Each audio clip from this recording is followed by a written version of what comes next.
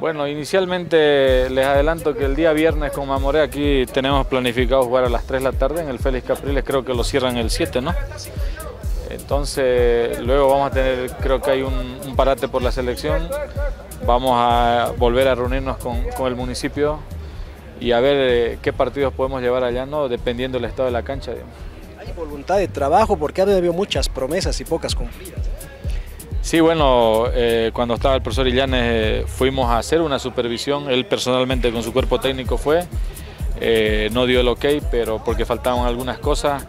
Lo que pasa es que la cancha no es que está guardada para nosotros, ellos tienen allá equipo, creo que la Liga de Quillacollo, partidos de la asociación, entonces tiene, tiene que haber un buen trabajo ¿no? en el campo deportivo. Planeta Deportes. Planeta